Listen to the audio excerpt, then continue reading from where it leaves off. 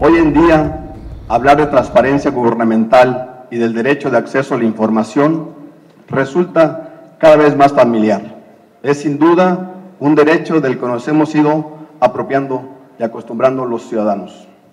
Hemos tomado conciencia que las autoridades y todas aquellas personas, ya sean físicas o morales, que manejan recursos públicos, tienen la obligación de informarnos el destino de esos recursos, la forma en que se ejerce el presupuesto, los sueldos, los viáticos, las comisiones, estructuras de gobierno, etc. Y también hoy es claro que nuestros datos personales en posesión de las autoridades siguen siendo nuestros, por lo que tenemos el derecho de decidir el tratamiento que se dé a estos.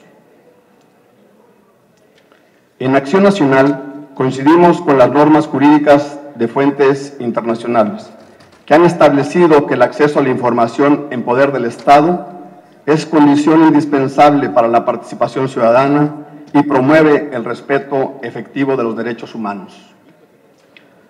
La información pública no es del Estado, es de las personas, nos pertenece a todos y los gobiernos deben hacer sus mayores esfuerzos por resguardarla y transparentarla. Hay que señalar que el artículo quinto transitorio del decreto que reforma la Constitución del 7 de febrero del 2014 estableció un plazo de un año, contado a partir de la entrada en vigor del mismo, para que las legislaturas de los estados armonizaran su normatividad. Este plazo venció el 8 de febrero del año 2015. Sin embargo, en este periodo de tiempo se presentó la emisión de la Ley General de Transparencia y Acceso a la Información Pública. Esta fue publicada el 4 de mayo de 2015, por lo que de manera conjunta se han realizado reuniones con mis compañeros de la Comisión de Transparencia y con el Instituto Veracruzano de Acceso a la Información para conocer los alcances y cambios contenidos en dicha norma general y eso nos da condiciones de poder realizar una correcta armonización constitucional. Es por ello que hoy presentamos a la consideración de esta soberanía una reforma a la Constitución del Estado para incorporar en su texto disposiciones pendientes de armonizar. Se propone incluir en, carta, en nuestra Carta Magna del Estado el reconocimiento del derecho al acceso a la información como un derecho humano así como el derecho que tienen los ciudadanos para que el Estado o cualquier sujeto obligado proteja sus datos personales.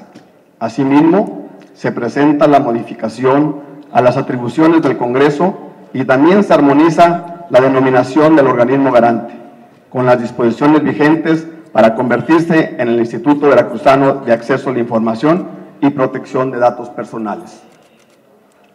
Se modifica el artículo 67 de nuestra Constitución y en el numeral cuarto se desarrollan las bases para el funcionamiento del Instituto Veracruzano de Acceso a la Información y Protección de Datos Personales.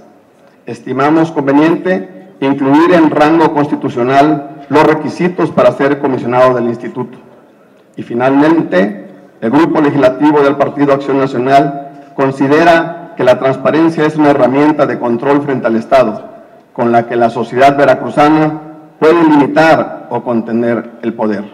Es un rasgo distintivo de los gobiernos democráticos que obliga a las instituciones y a los servidores públicos a informar sobre su desempeño y toma de decisiones. En Acción Nacional tenemos claro que el derecho de acceso a la información pública se apoya en el principio de publicidad de los actos de gobierno y en la rendición de cuentas, siendo un fin en sí mismo y un medio para el ejercicio de otros derechos. Es cuanto, diputada presidente.